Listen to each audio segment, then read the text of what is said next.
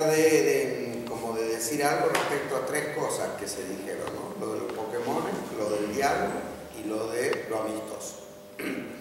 Em, bueno, el sistema tiene modas, tiene, tiene, tiene cosas que están generadas desde el punto de vista de, del comercio, de la utilización. Esa es una de las facetas de este asunto de los Pokémon, que es el tráfico de datos incrementar el tráfico de datos, las aplicaciones, todo eso y darle movilidad. Esa es como desde la óptica de ellos, de ese mundo pequeño, cada vez más pequeño, reducido, distante y que aparentemente nos controla. Eh, pero lo de los Pokémon tiene otra lógica, que está relacionada con que la gente busca a la gente también. Los, los buscadores de Pokémones también se meten en eso porque hay otros que también buscan Pokémon. Entonces se arman como esas relaciones, esos vínculos de los que están en ese tema. Mucha gente sigue muchas veces las modas simplemente para no sentirse excluidos. O sea, es un fenómeno de necesidad de inclusión, a eso iba, que no es que yo les digo ustedes ahora pónganse a buscar Pokémon, hay, hay mucho más interesantes para incluirse pero interesante ver ese impulso de la necesidad de inclusión y los ámbitos que, como bien decían, nosotros como izquierda, como humanistas, ¿no es cierto?, como progresistas, ofrecemos en términos de inclusión, que es a donde yo iba con el tema de la absorción. Es decir, bueno, ese es un tema. Junto con eso, justamente, eh, iba al tema de la dialéctica.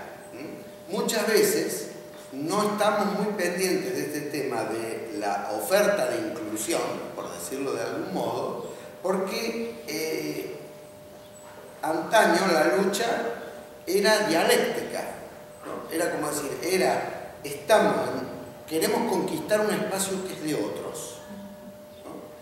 Y la dialéctica no la inventamos nosotros, no la inventó Hegel, no la inventó Marx, sino que la inventó Platón, derivándola del diálogo. Por lo cual llegamos al diálogo. Entonces, aparentemente algo que nosotros tratamos como algo eh, vincular, como es el diálogo, de ahí derivó un método que es el dialéctico, que en nuestro imaginario aparece como algo confrontativo, ¿no?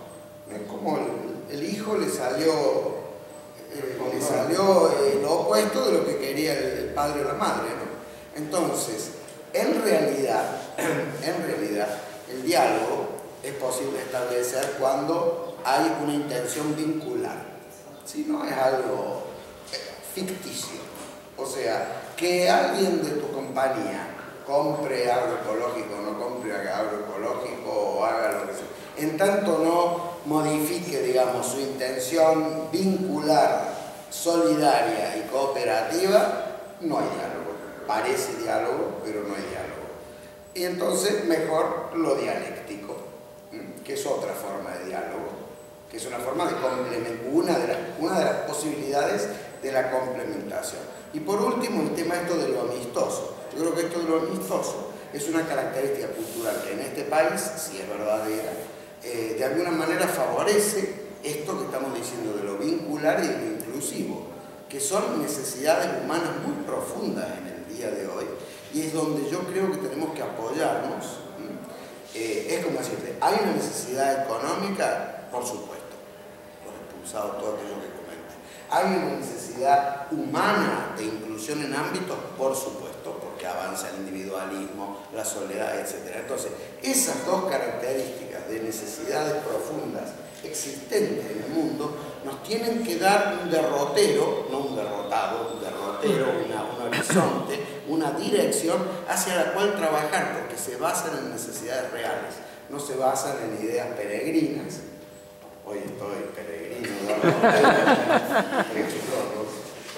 sino, o en teorías, sino en necesidades existentes, digamos, en términos tácticos de avance de lo revolucionario, el tema de la inclusión, de lo vincular real, como recién decía Alejandro, y eh, eh, que dentro de eso se puede englobar lo amistoso, que tampoco es vincular, es tan poco vincular inicialmente como la compra de los ejecutivos de productos agroecológicos.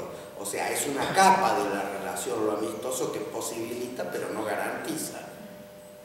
¿Entiendes lo que quiero decir? O sea, te abre las puertas a una conversación con alguien, pero no garantiza del establecimiento del vínculo, depende de la, de la, intención genuina y no de la tradición amistosa. ¿no? Entonces, nada, yo quería ligar un poco esos aspectos en el sentido de decir, a mí me parece que nuestra, nuestra táctica tiene que ir hacia lo inclusivo, hacia la absorción, hacia lo vincular y que por ahí vamos a ir ganando en relación de fuerza y no preocuparnos tanto de lo que hace el, el enemigo, por decirlo de alguna sino preocuparnos más de cómo hacemos avanzar nuestro sistema de relaciones con los del bañado, por decirlo genéricamente. No sé a quién te referías, pero con los sectores realmente populares. O sea, los cambios van a venir de abajo. Javier, una cosita. ¿Tú en Córdoba? ¿Hay algo? Tenemos que poner la en el tiempo, estamos muy pasados. Ah, bueno. La próxima jornada partiría a las 2, son las casi las 1.30. Yo... 12.30. Claro. 12 y 30. ¿Son las 12 y 30? Son las 12 y 30. Ah, es 1.30. Entonces estamos bien, no tengo hambre. ¿Estamos bien? Nosotros, o sea, yo voy a estar en esta mañana y ahora la tarde Ah, ya, por eso no, yo quiero que tú participes. Una curiosidad para ella. Sí. Lo de la cena, Bernardo. Me, ¿Qué? lo de la cena se me quedó. Quiero. Tengo esa curiosidad, ¿por qué no? Porque está prohibido culturalmente. Culturalmente. No, es una, es una cultura que tenemos. Cuando alguien fallece, uno no come, no, no quiere comer. Y si te arriesgas a comer, a comer, a comer, ese ya vas a, eh, ya vas a tener siempre en ti. No puedes ver a otra cosa. El consumismo, o sea, te come a vos y vos ahí te consumís, quieres más. Tenés todo, todo, pero quieres. Y no le das nada. Por eso estaba prohibido. Y uno no maneja eso, entonces se envía. Bueno. Eh, sobre el tema de los eh, Pokémon, eh, para nosotros, el, el, campesinado y el pueblo indígena, esta es una pérdida de tiempo. Porque tenemos muchas necesidades y para qué vamos a estar buscando personas que ni a nosotras nos buscan. es una pérdida de tiempo, o sea, son paradigmas de la estructura del, para, para el control social. ¿Hacia dónde está nuestro conocimiento y dónde están parados? Porque siempre hablamos que esto a, a nosotros no le gusta esto, a nosotros no nos gusta el gobierno, a nosotros no, no nos gusta el poder judicial, la comunicación, están compradas por el gobierno, no nos gusta, ¿no?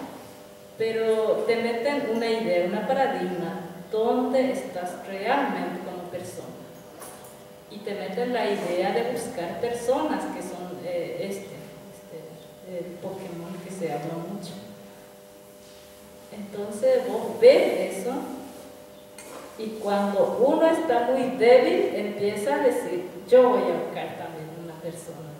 Entonces ahí nomás estás sido, no estás en el ámbito social y eh, tu mente está todavía está ahí, no está avanzando tanto. Entonces puedes caerte fácilmente y hacer lo que el otro dice. La conciencia misma te trabaja, pues, eh, porque la comunicación es muy fuerte. Los jóvenes especialmente se inician eso. Y todos los días eh, algunos se separan por eso, las parejas. Porque por celulares todos los días, con quien sea, no sé y ya no le atiende a los hijos, no le atiende más a casa y estando en una reunión así, está todos los días así, no, no es bien. Entonces, cosa, no sé, Han pasado 40 años que nunca hicimos eso, ¿verdad? Entonces el Pokémon fácilmente entra a nuestra mente también, porque todo lo nuevo queremos. Y nosotros es una pérdida de de los Pokémon.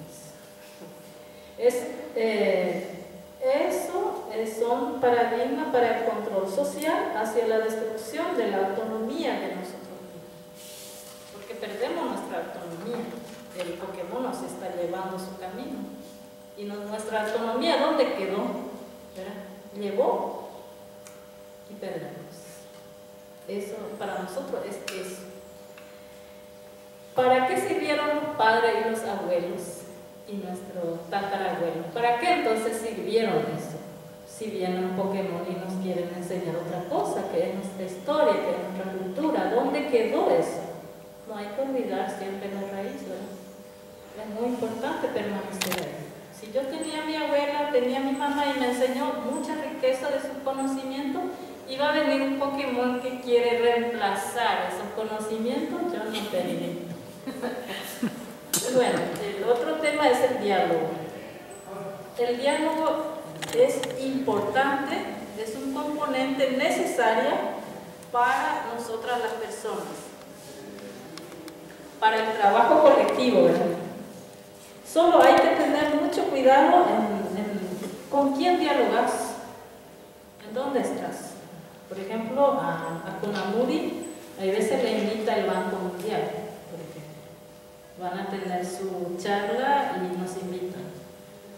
¿Y cómo decimos? Este no es nuestro aliado. Entonces el diálogo es muy importante, pero hay que cuidar mucho la esencia del alineamiento social hacia, hacia dónde estamos caminando y con quién vamos a dialogar. No hay que perder tan, o sea, si dialogamos con una persona que sabemos muy bien qué está buscando, no hay que dar la esencia total de nuestro conocimiento.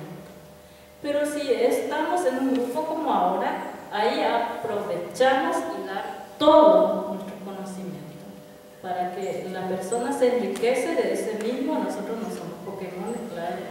Y, entonces, ese es un diálogo para mí.